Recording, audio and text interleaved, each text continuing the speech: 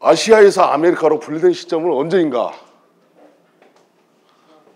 지금 이것은 이제 백과사전에 나온 지도예요. 여기가 옛날 아까 저 지도 봤을 때는 붙어 있었잖아요. 알래스카 대륙하고 어, 북미 대륙하고 러시아 저 아시아 대륙하고 붙어 있었어요. 그래서 이 아메리카 지역을 아시아로 했던 겁니다. 근데 아시아에서 분리된 시점이 바로 이 베링 해협 때문에 그러는데 그건 베링 해협이 과연 그 백과사전을 지어보는 덴마크 항해사인데 항해사 베링이라는 사람이 있었다. 그런데 러시아 해군에서 복무를 하다가 이 해협을 발견했다. 그래서 베링 해협이라고 한다 라고 지금 이 베링 해협을 설명을 해놨습니다. 그 백과사전에는 지금 기, 평균 깊이가 30에서 50, 50m예요. 그리고 이 알류산 열도 어, 이 해협 밑에까지를 베링해라고 합니다. 우리가. 근데 나중에 또 엄청난 진실이 드러납니다.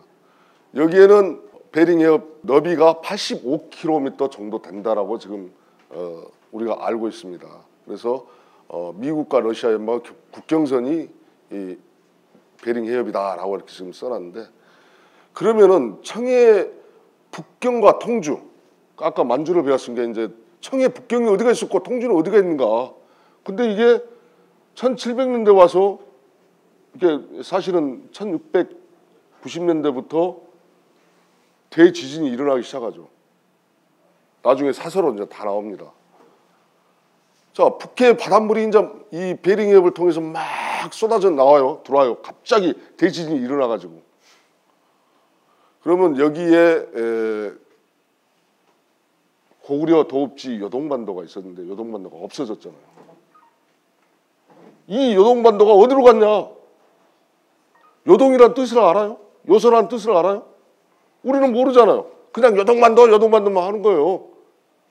요동이라는 것은 도읍지에서 멀리 제일 멀리 떨어진 것을 요라고 합니다. 멀리자 써가지고 요원하다 그러지 않습니까? 그래서 자 동쪽에 있었다 요동 서쪽에 있다 요소 자 여기서 볼 때는 동쪽이고 여기서 볼 때는 서쪽 아닙니까? 그러면 두 개의 나라가 존재하고 있었다는 거예요. 조선이라는 나라가 뭐다? 동국조선이 또 있었다는 거죠. 동국조선. 이제 사서적으로 들어가겠습니다. 1720년도 숙정 46년도에 이 정사 이이연이 청해 사신으로 다녀온 후에 자기의 문집 도곡집이라고 있었습니다. 도곡집. 여기에다 기록을 해놓은 것을 차차 이제 설명을 드리도록 하겠습니다. 여기 이제 중요한 게 나옵니다. 선조 27년, 즉 1594년 9월 2일 정중일 날 접대도감이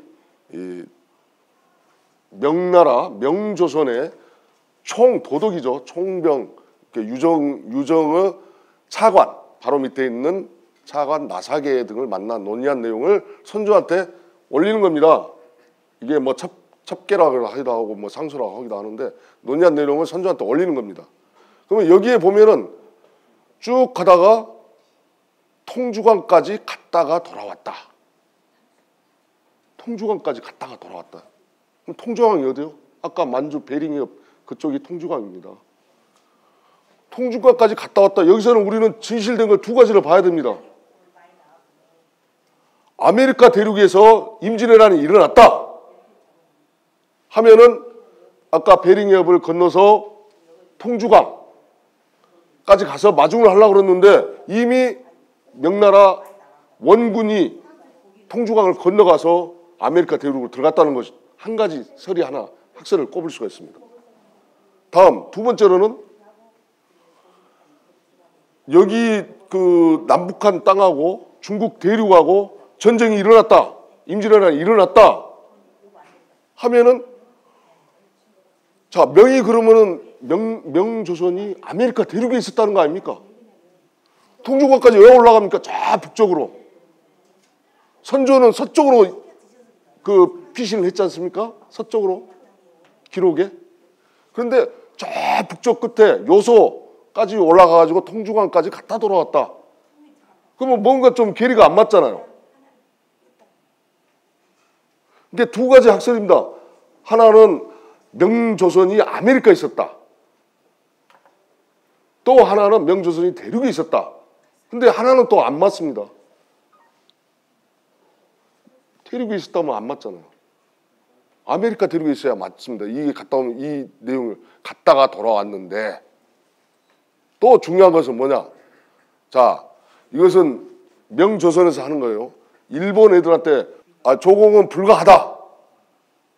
그리고 봉작은 허락해도 좋다. 봉작이 뭐예요? 관리, 벼슬 이름을 주는 거예요. 조공, 조공을 허락하지 않는다. 이 뜻은 무슨 뜻이냐? 국가가 생겨난 겁니다. 국가를 인정하지 않겠다는 겁니다. 그래서 조공을 받지 않겠다. 조공은. 조공이라는 것은 이 국가에서 조공을 들어오지 않습니까? 자, 이런 엄청난 얘기가 나와 있어요. 왜냐하면 조공을 받으면 국가가 생기는데 그 끊임없이 중상 모략을 한다. 그걸 헤아릴 길이 없다. 즉 외인들한테는 네. 자 다음에 인조 22년 갑신년 병자호란이 발발한 지 8년 후입니다. 여기서 이제 가는 그 청나라로 가는 거리를 지금 날짜하고 거리를 나타낸 겁니다. 4월 27일에는 영평부 쪽에 가서 어, 난주에서 묵었고 28일에는 어, 개평이 성 서쪽 16등에서 도착하여 어, 도착하였고 29일에는 옥전원 앞에 도착하였다. 30일에는 계주 남쪽 20년 대륙에 도착하여 묵었습니다. 이렇게 5월 1일에는 통주강의 얕은 여우를 건너 저녁에 통주 서쪽으로 20m 지역에 이르러 묵었다. 그러면 통주강이 여기서 나오는데 자 통주강을 건, 그 얕은 겨, 여울을 건넜다 그랬어요. 얕은 여울을 건넜으면은 청으로 가는 사신이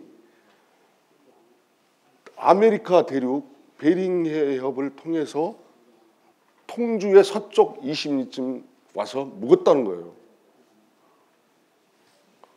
거기에 우리는 중요한 핵심 포인트를 가지고 있어야 됩니다. 그 다음에 경자연행 잡지 학원 이건 이제 이 이연이 서울부터 영경 우리는 영경이 어딘지 모르시죠? 서울부터 영경까지 상권에다가 아까 도곡지에다가 어, 실었습니다. 학원은 영경서 서울까지 기국시까지 이, 써놓은 겁니다. 자 여기에 출발 후 서울부터 의주에 이르니까 23일이 걸렸다. 요 밑에 보면은 어, 의주에서 서울까지 13일이 걸렸다. 즉 서울에서 의주까지 가는데 23일이 걸렸다 하면 준비하니라고 뭐 말도 준비하고 보급품도 준비하고 한 번 사신이 가면 엄청난 준비를 해갖고 가잖아요. 그런 과정을 갖다 했기 때문에 23일이 걸렸고 올 때에는 그냥 smooth하게 예, 내려오니까 의주에서 서울까지 13일 걸렸다. 지금 서울에서 의주까지 지금 이 남북한 땅으로 된다면 의주까지 몇, 며칠이나 걸리겠어요? 일주일도 안 걸리죠. 자, 한번 갈 때에 120리에서 150리 정도를 갑니다. 걸어서 그냥 그것도 걸어서 갈 때. 그런데 자 압록강을 건넌 후 이틀을 노숙하고 압록강이 어디가 있어요? 요동반도에 보면 압록강이 있죠. 근데 지금은 저 신우주 그쪽 건너가지고 거기다 요동반도로 지금 지명 이동을 시켜놨잖아요. 근데 거기를 압록강을 건너자마자 즉 청나라 땅을 들이, 들어가자마자 참이 30개가 있다. 그 참은 우리나라 사실을 거처하기 위해서 만들어놨던 거예요. 청에서. 뭐 우리가 알고 있던 그 30창이 이제 봉황성도 우리가 좀 아시는 분들은 아시겠고 요동, 요, 요동이 나옵니다. 심양. 심양이 지금 저, 아, 저 북경 위에 있는 심양입니까? 아니잖아요. 자, 변성 이렇게 나와가지고 산해관도 나옵니다. 지금 산해관은 진앙도로 지금 그 지명 이동 시켰는데 그 다음에 통주가 나와요. 통주. 통주는 이제 좀 이따 나온다면은 통주 운하를 팠을 때 그때 새로운 신도시가 생기는 게 통주입니다. 이건 1531년도 고지도고 그 다음에 이건 1795년도 이건 1757년도에 그 그려놓은 고지도입니다. 여기에 요동반도가 나오죠. 근데 여기에 허드슨만이라고 있는데 1번 여기가 허드슨만입니다. 그 다음에 2번 플로리다. 여기가 플로리다 주 아닙니까? 3번은 캘리포니아. 4번이 곧 요동반도입니다. 요동반도. 똑같습니다. 이 지도가. 근데 변형이 된 거예요. 지금 이 과정을 갖다가 쭉 해가지고 하는데 여기에서 중요할 점은 뭐냐면은 이게 고지도들이 계속 변화 변하고 있는 거예요. 왜? 베링 해협이 생기기 때문에. 자, 이제 요동반도도 현재 바다가 된 것을 알 수가 있다. 즉 이 요동반도가 자, 이 고지도에 보면은 서서히 없어집니다. 요동반도가 없어져요. 이걸 지금 설명을 해 놓은 겁니다. 자, 여기에는 이제 노란색으로 된 부분이 있습니다. 이렇게 노란색. 노란색을 부르는 16세기의 오린티우스가 그린 지도고 그 다음에 이 녹색이 있습니다. 녹색. 녹색은 1757년대 북하가 그린 거죠. 북하라는 사람이 그랬는데 자 여기가 지금 러시아 지금 현재 러시아입니다. 여기 일본을 몽골이라고 그려놨습니다. 몽골. 러시아의 몽골. 그다음에 지금 요 빨간 선이 보일 겁니다. 쭉 이렇게 이어졌는데 지금 만리장성이 아니라는 거죠. 이 이게 바로 진짜 만리장성입니다. 지금 러시아에 가면은 이, 이 성들이 잔해들이 쫙 있어요. 이 만리장성이 이렇게 쭉 해서 그 통주강을 거쳐서 이렇게 있단 말이죠.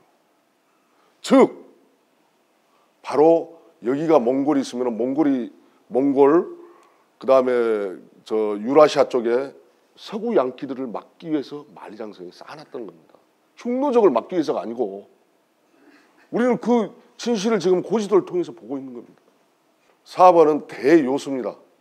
자, 이 지역이 대요수라고 하고 좀 이따 하겠습니다만은 어, 5번은 여기가 지금 북경입니다. 청해 수도 북경. 그때 당시에 이 통주 옆에가 북경이 있었다는 거죠. 이게 바로 지금 현재 통주강입니다. 이렇게.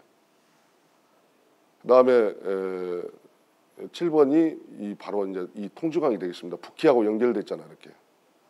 통주강. 8번이 이제 아까 말한 알류산 열도의 베링해라고 우리가 알고 있습니다.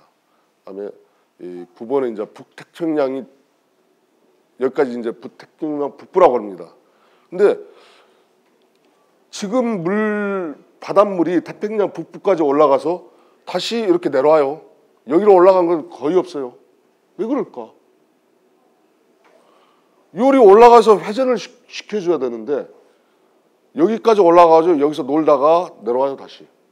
지금 저 태평양 북부 바닷물들이. 즉 여기는 대서양 쪽으로 합류가 된다는 얘기죠. 서로 왔다 갔다 왔다 갔다 한다는 거죠. 이게. 그러면 경자 연행 잡지 아까 이연이 그쓴 그 청나라 사신으로 갔다 왔잖아요. 통주왕은 일명 노화. 얼마나 길었으면 노화라고 했을까요? 아주 길었어. 또 외하라고 한다. 즉 바깥에 있는 물이다. 청을 둘러싼 물이다. 이렇게 해서 이 수원이라는 것은 발원지를 얘기하는 겁니다.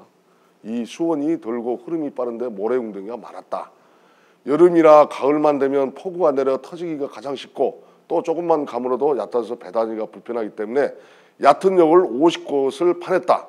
이것이 곧 천하의 항로이다. 통주라는 이름도 이 때문에 생긴 것이다. 이게 바로 통주 운하, 요서 운하라고도 합니다. 우리 쪽에서는 요서 운하고 그쪽에서는 통주 운하라고 합니다. 왜 50여 곳을 팠을까? 배가 지나도록. 이게 그때 당시에 세계 최대의 운하인 것입니다. 배가 다니게 큰 배들이 다니게.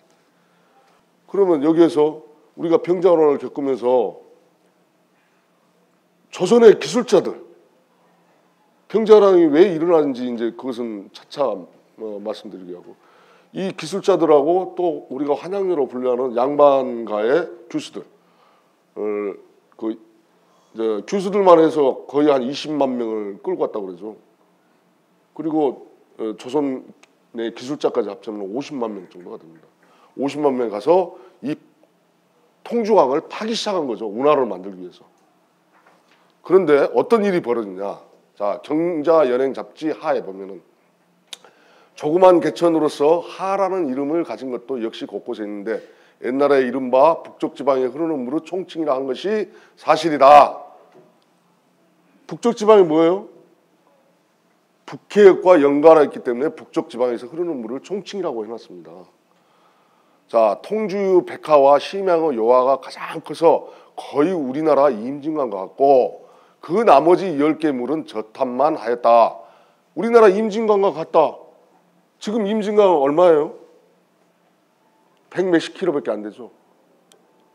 근데 그때 당시에 임진강을 기록에, 기록에 보면은 1000킬로 정도가 나옵니다. 1000킬로.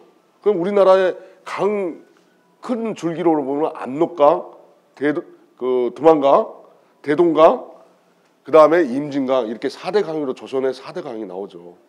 이러한 점들을 우리 이 이연이 청나라 사신 정사로 가면 갔다 와서 이렇게 기록해 놓은 겁니다. 자, 통주강은 북해 인근의 동, 몽골 동쪽 지역을 북에서 남으로 흐르는 강의 근원이 어디인지도 모를 정도로 멀었으므로 멀었으므로 북해와 강이 닿았을 것이다.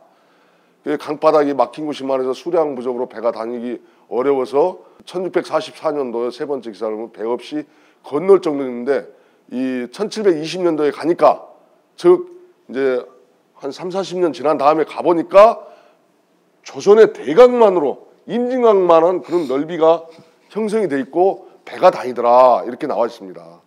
이제 북하 1750년도 북하 요동반도를 그려놓은 겁니다. 이게 이게 지금 요동반도입니다. 자 평양이 어디 있어요? 요동반도에 평양이 있잖아요.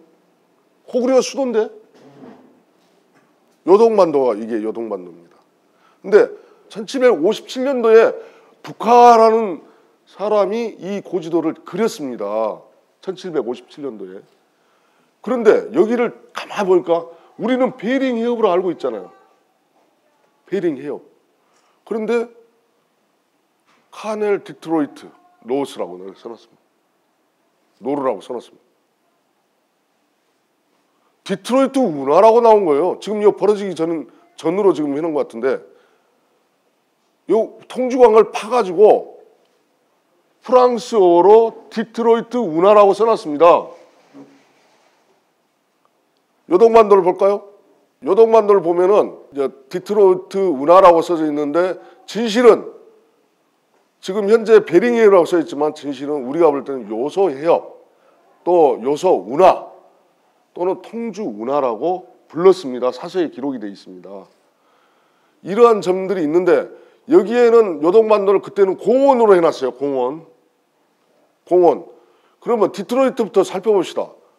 자, 저 1701년 어, 프랑스 무역업자 앙뚜안 드라모트 카다크가 에, 이 지역에 디트로이트를 세웠다고 하는데 그 디트로이트를 지금 여러분 보면은 1737년 미국 미시간 주가 새로 만들어지죠. 즉 조선을 빼앗아 먹는 조선의 땅을 빼앗아 빼앗은 때가 미시간 주를 빼앗은 때가 1837년이라는 겁니다.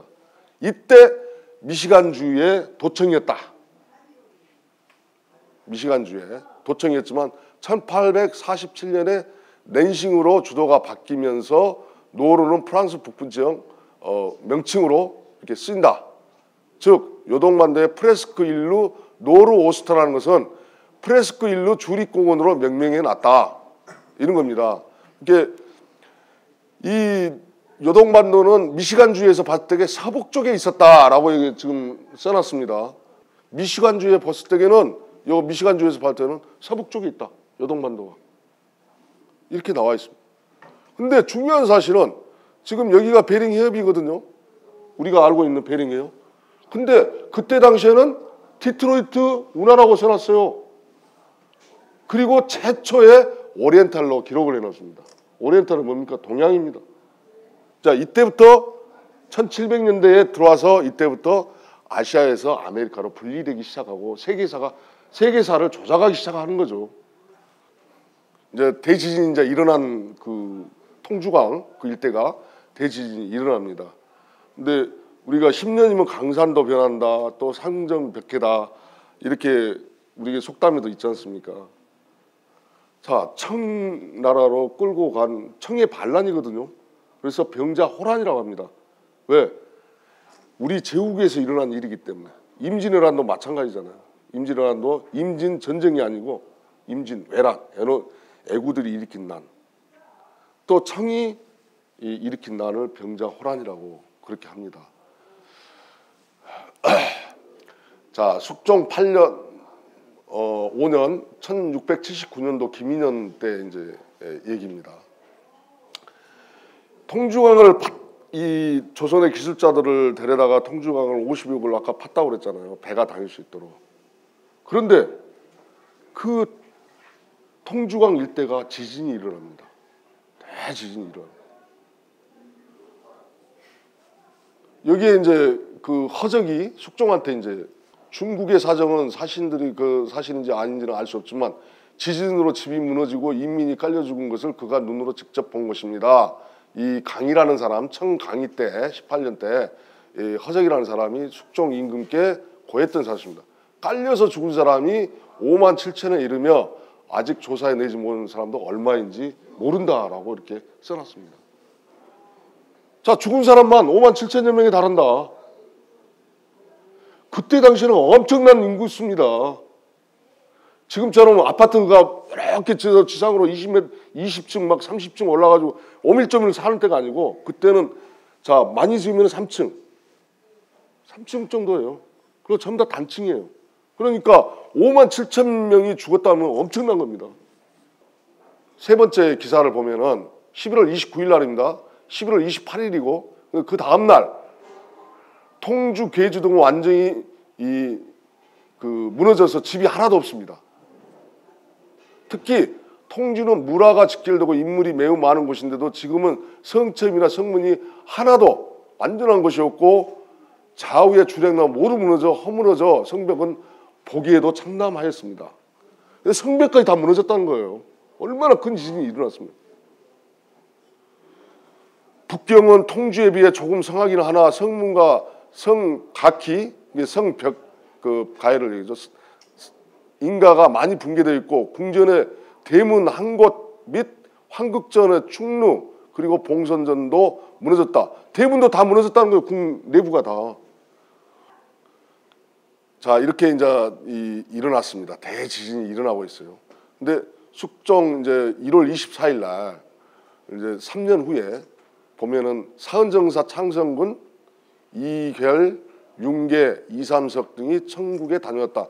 이게 사은정사 이제 창성군이 이제 갔는데 이제 임금께 고하기를 그 나라의 변이가 많은데 지진이 특별히 심하여 성곽 궁실이 모두 무너지기까지 하였고 다섯 용이 바다 가운데 싸웠다. 용이라는 건 뭐예요? 권위와 상징을 나타내잖아요. 용이가 바다에서 싸워요. 즉 이걸 풀이하자면은 북해에 물이 막 쏟아져요. 안류산 열두 쪽으로. 이게 통주관 이미 없어져 버린 거예요 이제. 그러다 보니까 이제 바다에서 용수섬을 치는 거죠. 파도가 막 치고 이걸 용으로 다섯 용으로 표현해 놨는 거예요. 그 대재앙이 일어났다는 것입니다. 이게 이제 다섯 마리가 바다에 막을 수 없는 대재앙이 일어났다고 이게 이제 김종문 선생이 밝혀놓은 거고요. 자 북경은 이제 완전히 폐해가 돼버렸어요. 1636년도에 병자호란이 일어났으니까 1730년 100년이 흐른 100년 가까이 흐른 후에 이제 그 기사입니다. 황성 바깥도 또한 그러했다 하더냐 하고 임금이 물어봐요. 이 영조 임금께서 신하한테 갔다 온 사람한테 그러니까 정우량이 성 바깥 또한 그러했으며 원명, 차항춘 등의 궁궐도 수없이 무너졌고 또 관동에는 큰 비가 내려 수천 리가 잠겼다 합니다. 수천 리가 잠겼대요. 물이 얼마나 홍수가 내리고 지진이 일어났고 100년 100년이 다가도록 이 짓거리를 한 거예요 지금. 자 영조 임금 이제 17, 그 다음에네요 1731년도 20일 정오에 갑자기 큰 풍우가 닥치는 듯 앉아 있는 의자가 흔들리며 급히 나와 면했습니다. 이건 청나라 이제 사신으로 갈때 청에서 묵을 때 얘기입니다. 그날 지, 지진으로 사망한 자가 2만 여, 여 명이라 하였고 자기가 묵을 때 예, 그 묵을 때 사망자만 2만 여 명이라고 그 발표를 했는 모양이죠 청나라에서 상명의 말을 듣건데 상명이라는 것은 즉 위에서 말을 들었다는 거죠. 호황은 호황이 뭐예요? 청나라 왕이라는 거죠. 호황은 배를 타고 장막에 거참해 붕압을 피했으며 이게 지진 등 여러 가지 그 재앙을 갖다가 배를 타고 언제 또 땅이 갈라질지 모르고 흔들리고 죽을지 모르니까 배를 타고 호수에서 지금 태화전이란 이 저기에서 어 아니 저 호수에서 장막을 치고 배를 타고 지냈다.